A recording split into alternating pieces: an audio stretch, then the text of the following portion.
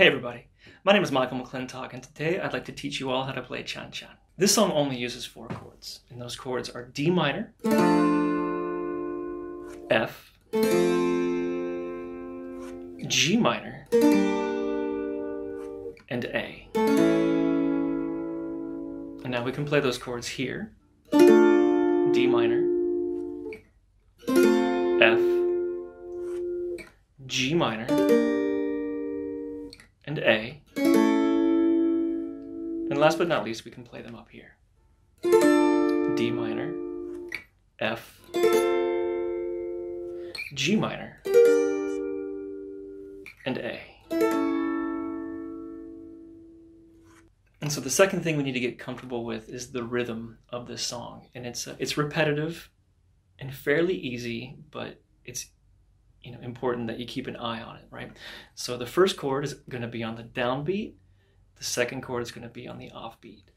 Third chord on the downbeat, fourth chord on the off, and it's just going to loop that concept. So uh, I think of it like this: one, two, and three, four. One, two,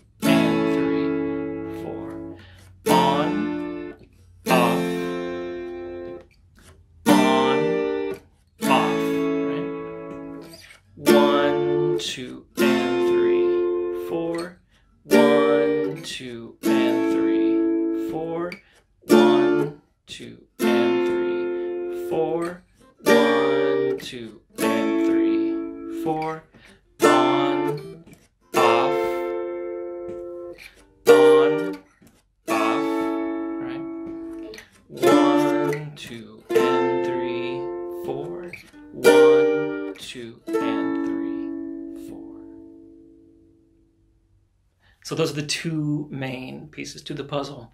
But to make this song a little more interesting, we can add um, some kind of walk ups, as I like to call them, like walking into the chords, right? And so uh, the first thing I typically do when I'm playing this song is this.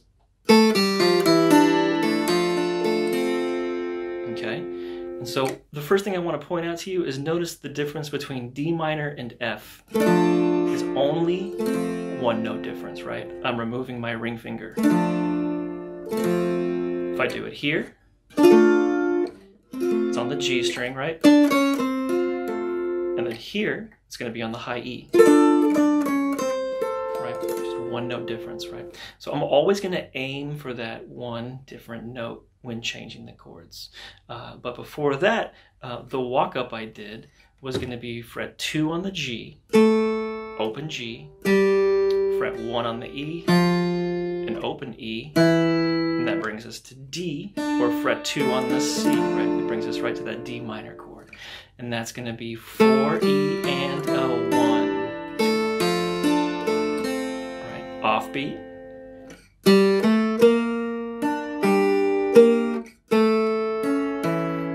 I did the exact same thing on the, the G minor chord, but just with two less notes. I think to myself, and a 1, right? And that's just going to be open G, 2 on the G, going to 3 on the G, and then there's the offbeat, right? 4 E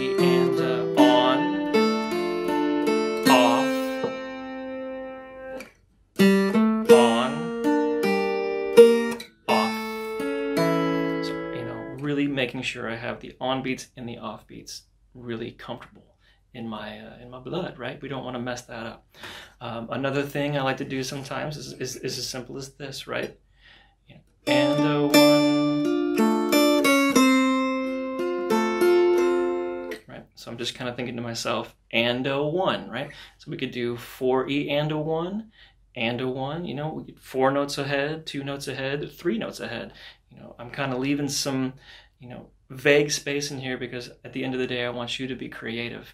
But yeah, another little thing would be and a one off the beat, on, off. We could do that same idea up here, right? All right.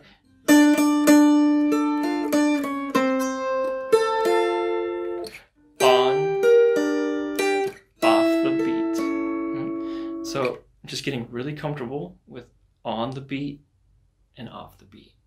And the final little lick I'd like to show you is going to be using a, a D minor scale. And that scale, really quick, is this. It's going to be fret 7 on the G, fret 4 on the C, fret 5 on the C, 7 on the C, 5 on the E, 6 on the E, and 8 on the E.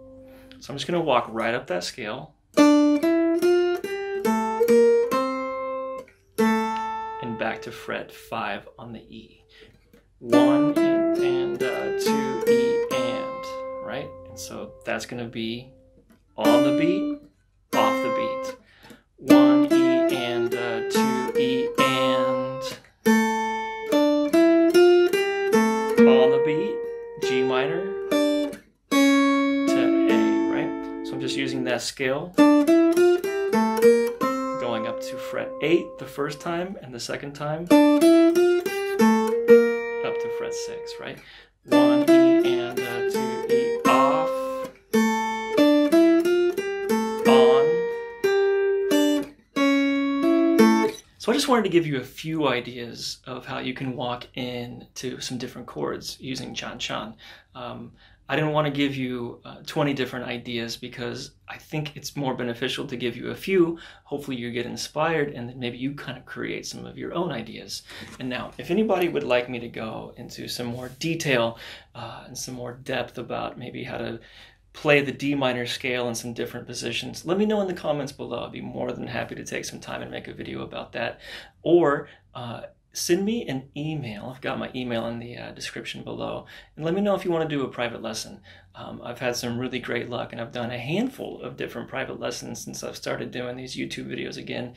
And um, I've been enjoying them more than I ever thought I would. It's been extremely fun to teach different people from all over the country how to play the, uh, the guitar and the, and the Cuban tres. So um, please don't hesitate to reach out if you have any questions at all. So again, my name is Michael McClintock, and if this uh, lesson's been helpful to you in any way, shape, or form, uh, give me a like, leave a comment in the comment section below, and subscribe to my channel. It really, really helps me out, and I appreciate it. So have a good day, and I hope you all enjoy learning how to play Chan Chan.